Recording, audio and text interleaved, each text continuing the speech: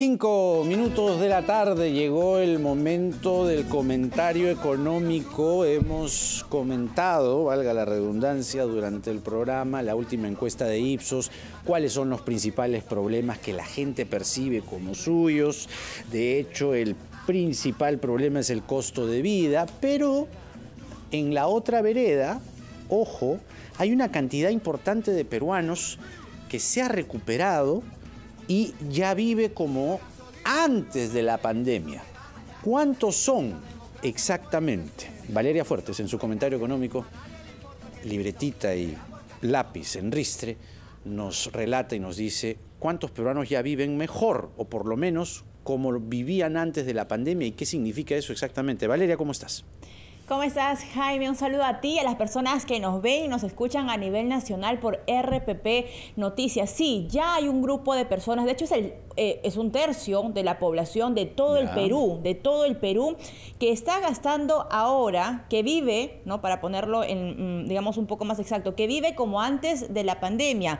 Y vivir como antes de la pandemia implica que están gastando como antes de la pandemia. Gastan en sectores como entretenimiento, en salidas con los mm. hijos. Pero ¿quiénes son? Se preguntarán ustedes. Hay que ponerle un rostro a este 37% de acuerdo al estudio que ha publicado el día de hoy Ipsos. Eh, son familias nucleares, compuestos por mamá, por papá y por hijos, pero hijos menores de 15 años. Son estos pequeños que le dicen a la mamá, llévame, llévame a salir, quiero respirar un poco de aire fresco, ya me aburrí de estar en casa. Ven que de repente la economía poco a poco se está abriendo, está abriendo sus puertas, Jaime. Eh, los centros comerciales, digamos, tienen un horario más extendido, los aforos en, en restaurantes también se han ampliado. Entonces son estos niños quienes exigen a sus padres a escapar un poco de esa burbuja que ha sido o que sigue siendo en, la mayoría de los casos esta pandemia. Eh, son estos, eh, estas familias las que están gastando más en sectores de entretenimiento. Eh, han visto que sus actividades económicas se han recuperado de manera parcial o totalmente, pero ya están gastando más. Y es a nivel nacional, no solamente en Lima Metropolitana, esto se da a nivel nacional en sectores C y D. Allí están gastando. Pero ¿qué pasa, por ejemplo, con ese 63% que restan? ¿Dónde están? Se distribuye, digamos, en varios tipos de familia. Uno de ellos, o el segundo grupo, son los hogares 4G, compuestos es cierto, por familias nucleares, pero se suman los abuelitos, se suman los, eh, los hijos, digamos, que ya manejan la tecnología. Em, gastan un poco más, pero solamente en comida. No es que salen a, digamos, a entretenerse. Prefieren quedarse en casa y tienen un ingreso promedio de 3.476 soles. Y el dinero, digamos, se gasta en comida, ¿no? y compran en cantidad. Están otro, está otro grupo también, los eh, hogares compuestos por adultos mayores, por viudos, por separados, por divorciados. Ellos consumen menos, ¿por qué? Porque están apuntando más al ahorro y porque están por supuesto, menos tiempo eh, en la calle y más tiempo en casa. De allí, digamos, apunta que, digamos, el consumo es menor y el ahorro tiende a ser mayor o, digamos, es uno de, de sus objetivos más claros.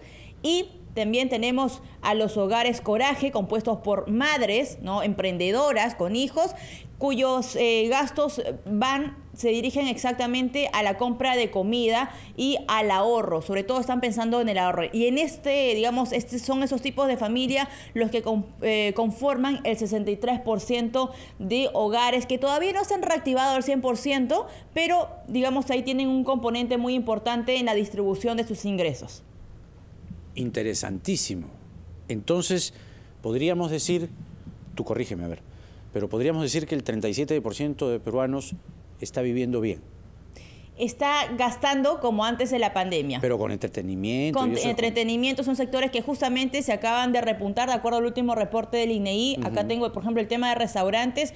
se ha incrementado, ha tenido un desempeño bastante positivo, al menos en septiembre. La gente sale a comer, la gente sale a divertirse, es decir, están viviendo Claro, como antes de la pandemia, como bien dices, pero viviendo mal que bien de una manera... Se distrae. Tranquila, exactamente. No, solamente, no están ajustados como la mayoría. Como la mayoría, fíjate, a 63%, es una diferencia bastante, bastante clara. Claro. Qué lindo sería que esos números se inviertan y que cada vez más gente pueda vivir mejor. Gracias, Valeria. El empleo. Ahí está, Jaime. El comentario económico de Valeria Fuertes, 2,30.